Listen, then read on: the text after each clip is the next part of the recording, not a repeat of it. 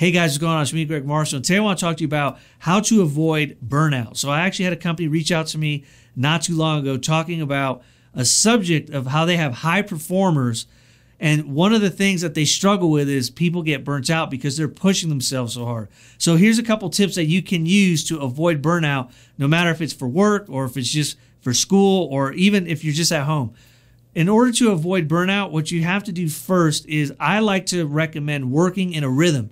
So instead of trying to do a billion things and cram them all together and put the pressure on yourself of kind of fulfilling this crazy timeline, what I recommend is understand kind of your rhythms throughout the day. When are you the most focused, energetic, and when do you feel the least focused and motivated? And make sure that you put all of your high level work in this time slots where you feel the most motivated. And then when you feel more relaxed or you're not as driven, go ahead and uh, uh, block out some time for for you to be able to relax and just chill out. And then when you get the motivation again, go ahead and go back to uh, whatever high level creative work that you need to do.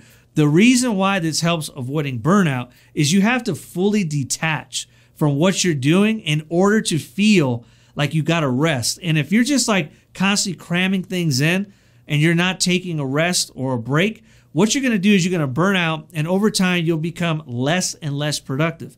And that's the exact opposite of what people typically are trying to do. Is they're trying to be more productive, but the wrong idea, I believe, is to try to keep doing more. You should actually just try to work more of the rhythm and then structure your days where you can actually have your highest level of energy during the times where you're the most focused and the lowest level activities or even rest during the times when you don't feel as driven. And if you do this, you're almost performing like an athlete, which is you're training, you're resting, you're training, and you're resting. If you use this rhythm, I guarantee you'll get much better results and you'll be less stressed out. Hopefully, you enjoyed the video. Like, comment, share, subscribe, do all that, and uh, talk to you guys later.